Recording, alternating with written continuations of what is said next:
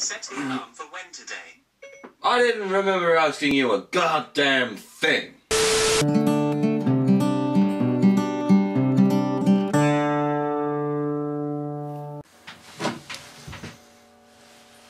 I made another one. This is attempt two. Let's see if it works. First of all, someone asked me how my last scrap metal cannon worked. This one. Okay, well basically I used one of these and one of these. A little 2-2 blank. You don't need a license to buy them, you can buy them in gun shops. For a box of them, about seven quid.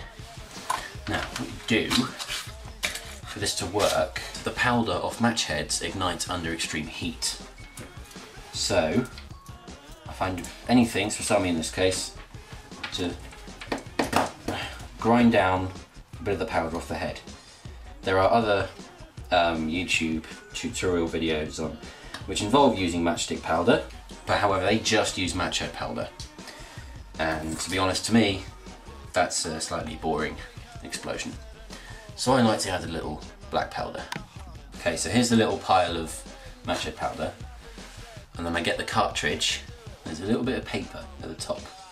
So I get a needle and pry the paper out. So then I have the powder in there, which I then add to the pile. Now usually I do this in a container, but as I said in the last scrap metal cannon video, there is there's too much noise to do in a neighbourhood environment. I had to fire the cannon at work.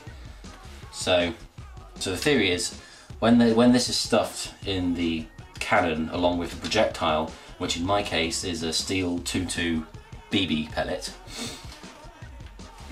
it uh, I put a paraffin tablet underneath, which you can buy in camping stores. Put underneath the base of the barrel where the powder is has been jammed in, and you light the paraffin tablet. So the flame is underneath, obviously underneath the base where the cannon is. And hopefully that there is enough heat that builds up from the flame that ignites the match the match head powder, which of course ignites the black powder, like so. There you go. And you get to enjoy the smell of burnt powder afterwards, which is a lovely smell. So that's basically how I got this cannon to work.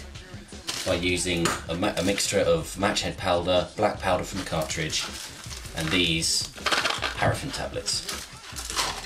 Can buy match heads in any, uh, matchsticks in any store obviously. You can buy these little cartridges from a gun shop. You don't need a license to buy them.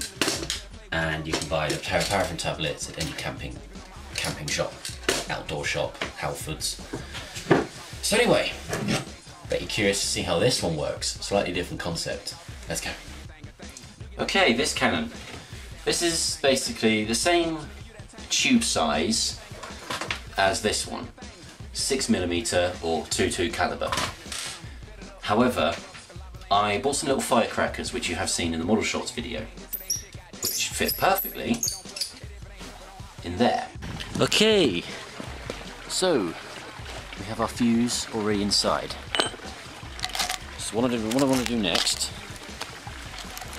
is take a BB pellet, I'm using these. Take one of these, and then tear off a bit of paper. In my experience, I find receipt paper seems to be the best for this. Get a little piece of it, and wrap it around the ball. That acts as wadding, because these are slightly smaller than the barrel. So this acts as wadding. Shove it in, and you get a ramrod.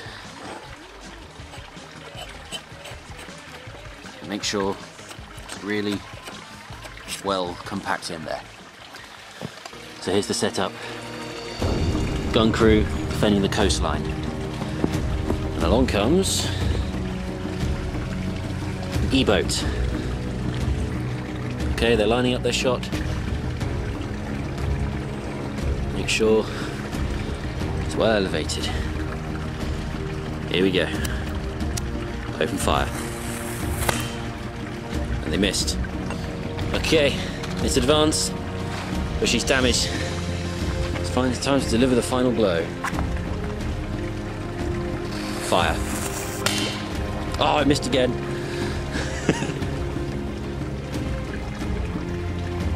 Fire. One last chance.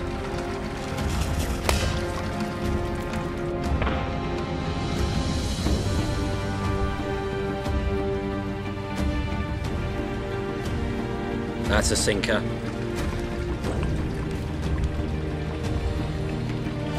Looks like she's scuppered. Going down in a minute.